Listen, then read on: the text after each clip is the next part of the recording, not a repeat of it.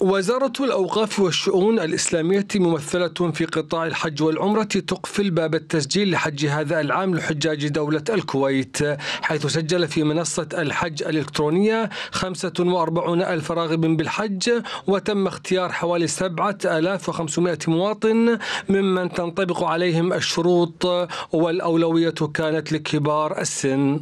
سكرنا باب إعلان رغبة الحج استمرينا خلصنا الفترة الأولى من التسجيل الآن إحنا الآن في الفترة الثانية وهو ترشيح المقبولين للحج.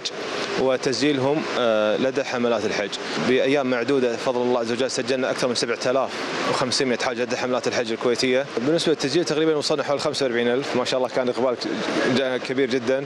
ال 45000 هذه تنطبق عليهم الشروط. يعني إحنا البرنامج السنة هذه غير البرنامج آه، العام الماضي. يعني لا يقبل إلا من تنطبق عليه الشروط. القطاعات المعنية في الحج في وزارة الأوقاف والشؤون الإسلامية بالتعاون مع الجهات الحكومية المعنية والحملات الكويتية تكمل استعداداتها المبكرة من أجل حج آمن وميسر لحجاج بيت الله الحرام إذ تبلغ حصة دولة الكويت ثمانية آلاف حاج.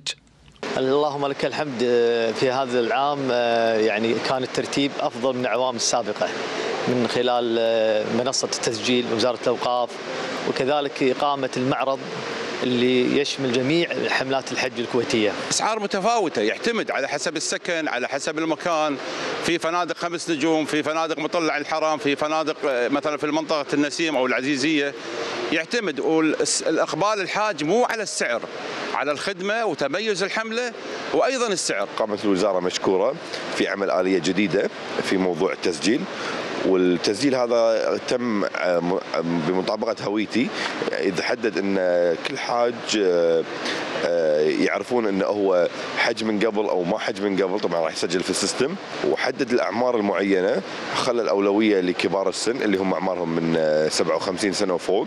إحنا جبنا كسوة الكعبة الأصلية طبعا الكل اللي تشوفونه هني مقتنيات من الكعبة في أزمنة مختلفة. طبعا في الكسوة الشامية الكسوة العراقية الكسوة الحجازية كلها موجود. وفرناها هني في المعرض عشان الزوار المليون. تعرف على مقتنيات الكعبة كاملة. وزارة الأوقاف والشؤون الإسلامية تعمل من خلال استراتيجية متطورة بالتعاون مع سلطات الحج في المملكة العربية السعودية من أجل توفير كل الخدمات المتقدمة والمتميزة لحجاج دولة الكويت على طريق إنجاح أداء فريضة الحج لهذا العام. فهد التركي تلفزيون دولة الكويت.